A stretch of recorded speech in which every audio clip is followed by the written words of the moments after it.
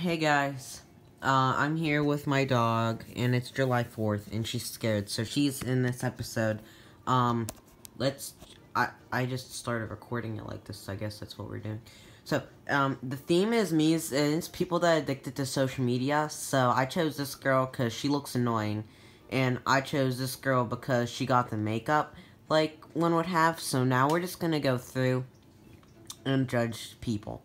So, obviously I have to choose all girls. Uh, men don't get addicted to social media.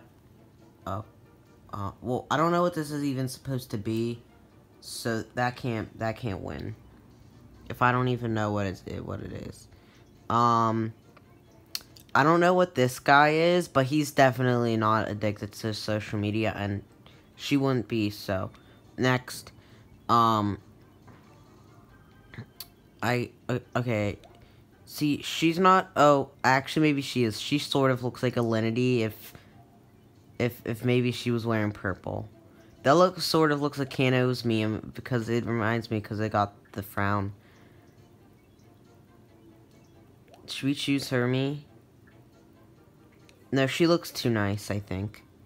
I mean, Alinity isn't nice, but the Mii looks nice. See, she doesn't look like a social media addict. She looks like she would beat me up, probably. So she can't be a social media addict. This girl, she she wins because she just looks annoying. See, like, this girl looks like a nerd. She wouldn't be addicted to social media. She'd be addicted to telling you about Pokemon.